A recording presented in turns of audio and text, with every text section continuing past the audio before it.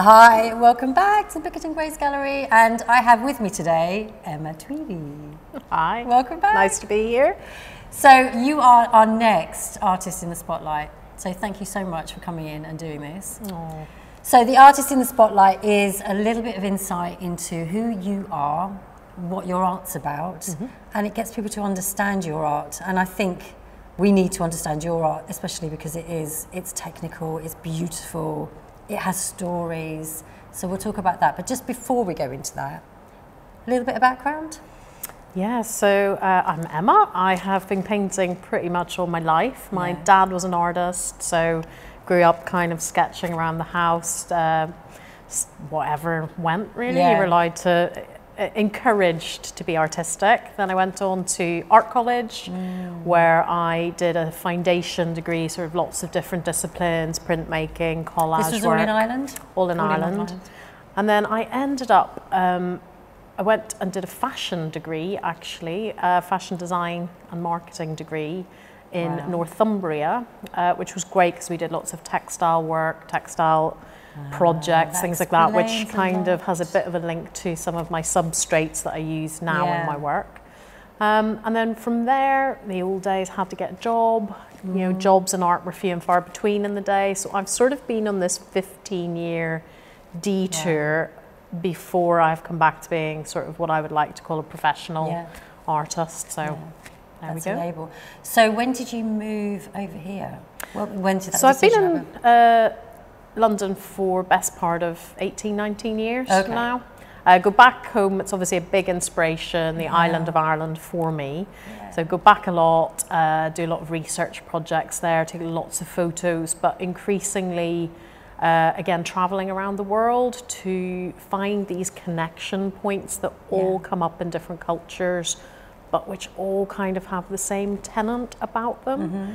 and which all are inspiring in the work um, and that's really become a, a, sort of conversation point of the work as it presently is. So yeah. that's things to do with cultural references, um, views on uh, the cosmos, yeah. environmental views. So all of these things, no matter where you travel in the world yeah. now, I think are really high on the so agenda. Bringing that into focus, the picture behind you pretty much speaks about everything you've just said there.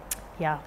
so the, the title, yeah, the title of the piece is Five Finger Strand, mm. which uh, is a remembered landscape. And again, as part of my process, I'm trying to really reach that point between uh, representation and abstraction.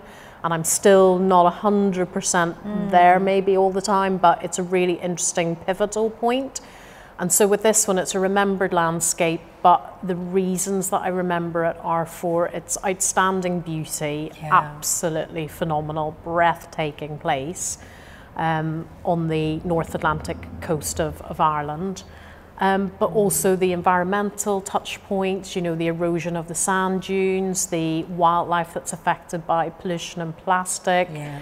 You know, all of these things I think I've I have to say something about I mean, even in was, the subtlest of ways with yeah, the work. but that was quite, quite horrific what you told me about the plastic because it was kind of a dumping ground. Yeah, back in the 30s, 40s, 50s, you know, there's this very clear kind of marker in the sand dunes where you can see decades of plastic just sitting mm. as sort of coloured, you know, stratas mm. in the in the dunes.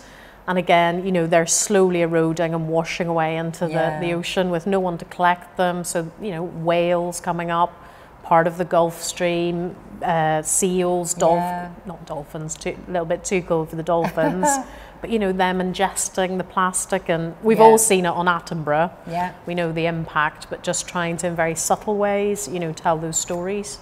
And then in this particular piece, there's other threads, thing, threads. yeah, that's quite a good. Literally running through it. So th- there's words. I mean. Yeah. So likewise, sort of exploring culture. Yeah my heritage, obviously, I'm a, a child of the Troubles, so I yes. grew up in Belfast, which was pretty hardcore during 70s and 80s. Mm. Um, a lot of conflict, you know, which again we're seeing on a, a more global scale now, but yeah. actually living through that as well has been really interesting.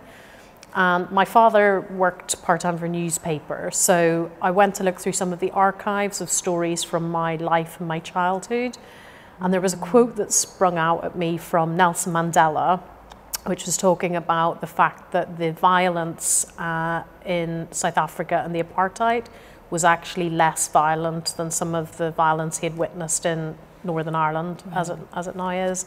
And that really struck a note with me. So, again, my work is very much about mindfulness, feelings of peace, that kind of liminal feeling which you get from looking at something which you really want to relax with. Yeah. Um, and that's also a really important thing for the viewer for me, uh, a point of escape. Yeah. The, the landscapes themselves are the spaces, mm. but I like to think of the paintings as uh, keys to that world. And your work is mostly landscapes? Mostly landscapes. Again, as part of my development, I am doing more abstraction mm. with colour, things like that. But yeah, yeah, they always tend to come back to remembered places. Yeah. Um, and that can be anywhere in the world now, actually. It's not limited mm. to the British Isles or Ireland in particular, it can be mm. anywhere. But again, those remembered places where you feel the power of nature and the ability to escape in your brain yeah. from whatever it is is going on in your life. This is such a good example of that. You know, when I look at this as well, you, you are taken to that point. I mean, more more so for you because you've been to this point and yeah. it is a proper memory for you. A lot of my clients would say, you know, I don't I love your painting because I went into it. Mm. I'm not mm. sure where I went, and then I came back out of it again. So that's a comment that's a lot of people will say about the work. Yeah. So your technique, just talk a bit about your technique. So from a distance, we said as well. Yeah. You know, you're looking at a painting. As you come closer, you see the textures. The yeah. Fibers. So with my work, I mean, I tend to call these my layer paintings. So mm. whether it's pigment that's layered or mixed media and collaged elements, yeah. they're all kind of layered the nuances within them. There's always like little hidden secrets mm. or little mm. hidden things. Um, so again, the viewer kind of goes on a journey to find mm. those. Um, the earlier work that I was making was looking at things like raw linens as part of my practice. I try and be as sustainable yeah. with materials that I use. So unbleached linens, mm. being able to source where your linen's coming from, but obviously the Irish history around linen, mm. so you mm. can see that in this piece. And then, yeah, I'll use things like newspaper clippings, things that are just around or that I've collected, yeah. and I kind of hide them in and collage them into the work. So this particular piece has multiple layers. Yeah, There's actually a painting on the reverse of the linen, which leaves a tattoo image on the front of the piece, and then I'll kind of build up on the tattoo side wow. of the image so that it feels a little bit more abstracted and a little bit more interesting to the viewer mm. than that kind of representative yeah. look. Do you know where you're going when you start it? I mean, with this one, obviously, you had the place in your mind. Yeah, I always start with that memory. And actually, the more I've been painting, I've been, I've been painting professionally for six, seven years mm. now. And I think it's that learning to listen. The paintings mm. talk, they talk back to you, they tell you where to go, they tell you what to do. And actually, developing that silence for that to happen is actually a really important part of my practice. That's a beautiful way to put it. Mm. Mm. So, where would we have seen your work before? Where have you exhibited in the so past? So, I've exhibited kind of widely um, mm. through uh, galleries. Yeah. Uh, also, I do uh, some art fairs, uh, less these days, mm. uh, obviously, because I'm busy making for private clients as well. Yeah. Um, but yeah, galleries, you can go online, obviously, through mm. Bickerton Grace um, Gallery, as well as galleries in Ireland. I also work with some art consultants yeah. who bring clients to me. So you just finished an exhibition in Northern Ireland, or yep, so I have a gallery that I work with there in Northern Ireland who are amazing. Am I allowed to name drop them? Yes, absolutely. As a competitor, Canvas Galleries, they're lovely. of course you can. Um, and I did a show there called Digging Deep, which was all about this land, sea, sea, sky, and why those landscape markers are so important for me. Yeah. Um, it's been really successful. Uh, I'm pretty much getting to sold out, uh, yeah, uh, and that was just back in October. So yeah. yeah. they've been wonderful. And are you working towards another collection right now?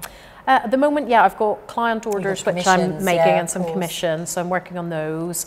And then already, because the pieces take such a long time to make, I'm already thinking you know, to the latter half of the year for development projects. So yeah. I might be doing um, another exhibition in October, but I just need to check that I don't want to rush the work yeah. or compromise the work. So it will depend on the making schedule yeah. over summer. Because I guess a piece of yours especially one like this, can take a very long time. Very it? long. The current paintings can take, if I'm working on them every day, mm. can take two, three months to make wow. a piece. Every, everything is left organically to settle, yeah. um, so you have to be really patient. Um, and I tend to work with happy accidents, so I'll have fluid uh, pigments on the pieces, yeah. let them kind of settle, then come in the following day, see where they've gone, and then nice. intuitively work with them. Such an organic process, it's beautiful. Yeah, very much so. So, for, I mean, obviously, we would love you to come back here and to exhibit here um, soon as well. Yep. we'll fit that into your yep. bonkers schedule. Um, I just want to mention the sentiment collection as well, yep. because when I approached you and I said, and you were like, oh, and obviously, it's a wonderful way for us to connect with different artists and understand different artists. Um, and you gave us the digital um, copy of one of your, is it Ro Rowan? Rowan. Rowan. Yeah. I knew I was going to say it wrong. Rowan, which was beautiful. That was very abstract. Very, yeah. It was pinks and it was just gorgeous. And we'll show an image of that. And then we divided that up. So that became your way of connecting within the sentiment collection. How was that for you to be part of that? It was really interesting actually because different. the word sentiment, even when you start to think about what it means to you, and then, you know, you were saying, have a look at which pieces you think might fit. And yeah. then you're really analysing the pieces based on the emotion that is attached to yeah. each piece. And obviously, I already have a very deep connection with my work. Yeah. Each piece has a different, they're all my babies. Mm. So I was looking at my little family, you know, sort of trying to pick a piece. But actually, that one I felt because I'd abstracted the original painting in a very interesting way. Um, and it felt quite deep you know, mm. layered because there was layers of abstraction, then obviously layers of color. But actually, when you broke them down into these little takeaway pieces, each one's quite mm. intricate. So yeah. I felt that that was a good way to give someone a decent piece, yeah. if that makes sense. To be fair though, with all of yours, there's so much detail yeah. and there's something in every bit. So yeah. anything that you had, had offered would have been the same, wouldn't it? Yeah, really? even when sometimes photographing the work yeah. is a re- you know high resolution, really high resolution is a really interesting way to mm. go into little details of the work because even I will miss things and then yeah. I'm always trying to replicate bits that are beautiful within a piece. So you know I'm always studying almost like the painting in these little tiny jigsaw that, pieces. And that was one of the beautiful things for me to be the one dividing them because so many of the pictures that I've divided up became they became little tiny works mm. of art from um, a full work of art and mm. to see that was really quite precious mm. so I was grateful for I that love well. it when I actually view all the hundred together I think that installation is really mm, cool it is it's a wonderful little fragments of people's creativity and well. brains and how people think and work and their practices and it's just this beautiful yeah. patchwork of creativity. Yeah. I mean, it's like you said, as an installation in itself. Amazing. The 100 artists, it's beautiful. Amazing. Um, so obviously this week is all about you. So what we want to do over the week is to showcase your artwork and what yep. we've just been talking about so people can see some of your pieces and get behind what made them, understand them more. Yeah. And yeah, and, and that's also good because, you know, as artists, our work all, always develops, always changes, and actually the work I'm making right at the moment mm. feels a little bit different to the work just yeah. behind. Yeah. So again, it's good for people to understand that journey mm. and that mm. process from certain parts of technical and compositional things that were of interest at one point in time, and then how those are reconsidered and readapted for now. Mm. So. And do you not think as well, it's such a takeaway world, isn't it? You know, everything's got so fast. And even what you just said about how long it takes you to do a piece, people need reminding a little bit. You know, oh, I was reading. Back. I was reading a fantastic. I'm sure, like anyone who's interested in art, uh, Rilke, who wrote lots of poignant quotes and phrases about uh, artistic practice. I was reading a little book that he wrote to a chap. I think it's called uh, Letters to a, a young writer, mm. something along those lines. Um, but in it, he talks about being an artist and how actually you should never rush its patience because you're never going to be finished with this process. It's in you for life. Mm. And actually, to get to the point where you really know what it is you want to say about the work takes a lifetime. Yeah. You know, uh, Hokusai famously said at the age of 96 that he was only just starting to feel like he was getting there. so you know, I'm definitely in this for the long term. I don't term. think we ever get there. No? I, do, I don't think we do. Ongoing, that journey. Yeah. That's what makes it so precious as yeah, well. Exactly. Because you're constantly learning. You're always a student yeah. to what's around you. It's feeding us all mm. the time. Um, but thank you again for coming in today. Oh, my pleasure. You thank you again for the opportunity. It's mm. amazing. And if anyone hasn't been to the gallery, I definitely encourage you to come down. It, there's some wonderful things to see here. And also, uh, April the 20th, we've got an exhibition here. You'll be here.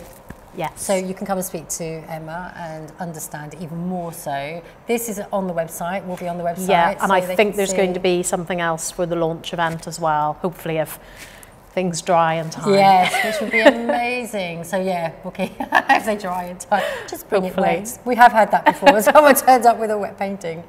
Crazy, Great. crazy, crazy. But you can also look on the website, bickertongracegallery.com, on Emma's page and have a little bit of an understanding about Emma and see how you can connect, connect yeah. with her and with us and with all the artists in the collection. So bye for now. Bye for now. But we will be badgering you for the week. Yeah. Perfect. Take care. Thanks.